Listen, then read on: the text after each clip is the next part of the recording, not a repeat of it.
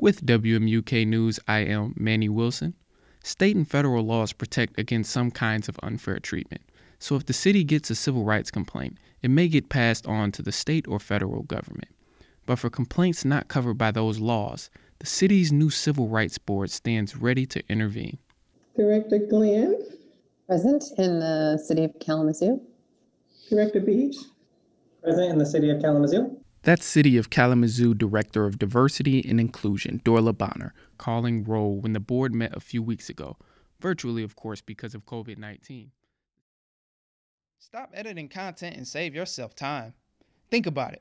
How much time would you save if you didn't have to edit any videos? Better yet, how much money would you save by contracting a remote editing team and taking away the responsibilities of a 401k and benefits?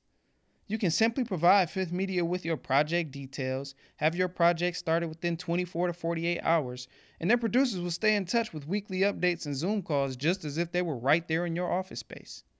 They specialize in editing content for commercials, music videos, real estate, and YouTube. If you consistently produce, you need a team that consistently edits. So, why hire a person when you can hire an agency?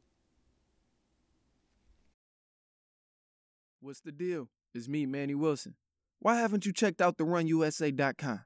We got articles about sports, finance, business, entertainment, everything. And if you want more, just let us know. The Run USA is the vessel that gives all content creators a voice and a platform to showcase their work. If you want to be heard, go to therunusa.com. If you want to write something or voice your opinion about a topic, go to therunusa.com. If you just need something to do, go to therunusa.com. It's the Run Podcast with me, Manny Wilson. Let's get into it. Run with me, Manny Wilson. I am here with the strongest man in Kalamazoo. The only person who could beat Thanos in a one-on-one fight. the only person who could probably rock bottom Dwayne Johnson to Rock Johnson. I'm here with my guy George Smith. What's good, bro? How you doing, bro?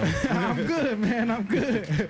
So you be going to the gym, you strong. We be seeing you flexing on the gram, literally, literally flexing on the gram, and he be flexing with the workouts that he do on the gram for us.